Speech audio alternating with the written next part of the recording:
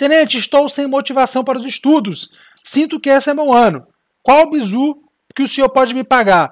Cabo Natan. Cabo Natan, se você está desmotivado, olhe os seus problemas. Os seus problemas é que tem que te motivar. Sabe o que, é que me motivava quando eu estava estudando para a SpaceX? Eu olhava para a geladeira da minha casa e só tinha água e ovo. Eu olhava para a mesa de casa e estava cheio de conta para pagar atrasada, que a minha mãe estava desesperada sem conseguir pagar, lutando contra a depressão. Eu olhava para minha irmã, que era uma pré-adolescente na época, e o nosso pai ele tinha falecido, né? O, o, eu conto isso na, no meu livro. Cara, e eu falava, cara, se eu não for alguém na vida, quem é que vai ajudar a minha irmã a crescer? Era isso que me motivava. Então, quando eu ficava desmotivado, eu olhava as merdas da minha vida, eu olhava a bosta do, da, da, situação que estava a minha vida, e isso me motivava. E eu voltava a estudar. Então, olhe para a merda que está na sua vida, e isso tem que te motivar. Não desmotivar.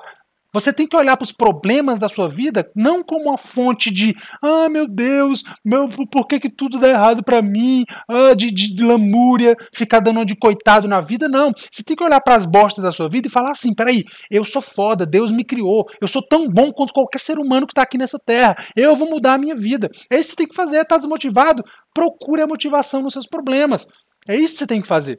Tá? Então faz isso Busque a motivação nos problemas que você tem na sua vida. Tranquilo? Lembrando, se você quer se tornar aluno do nosso curso da SpaceX, aproveita o cupom de desconto que está aqui na descrição, cara. Aproveita e já começa os estudos hoje. E se você ainda não deixou o like, destrói o like aí e compartilha